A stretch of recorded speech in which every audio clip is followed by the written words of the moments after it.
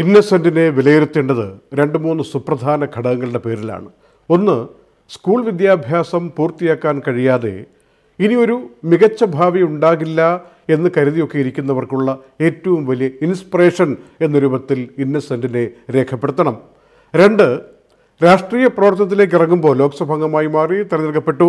ശത്രുക്കളില്ലാതെ എങ്ങനെ പ്രവർത്തിക്കാം എന്നുള്ളതിന്റെ വലിയ മാതൃക കാണിച്ചു തന്ന ഒരു വ്യക്തിത്വം കൂടിയാണ് ഇന്നസെന്റ് അതുപോലെ രോഗാവസ്ഥ കീഴടക്കുമ്പോഴും തമാശയോടുകൂടി അതിനെ നേരിടുകയും മറ്റുള്ളവർക്കൊരു വലിയ ഇൻസ്പിറേഷൻ കൊടുക്കുകയും ചെയ്തുകൊണ്ട് നമ്മുടെ ചുറ്റുവട്ടത്ത് നിറഞ്ഞു നിന്ന ചിരിയാണ് ഇന്നസെന്റ് അതുകൊണ്ട് മാർച്ച് ഇരുപത്തി ആറ് രണ്ടായിരത്തി ഇരുപത്തി മൂന്ന് അദ്ദേഹത്തിന്റെ അന്ത്യദിനമല്ല. അദ്ദേഹം നമ്മളോടൊപ്പം എപ്പോഴും ഉണ്ടാകുമെന്ന കാര്യം മാത്രമാണ് ഞങ്ങൾക്ക് ഓർമ്മിപ്പിക്കാനുള്ളത്.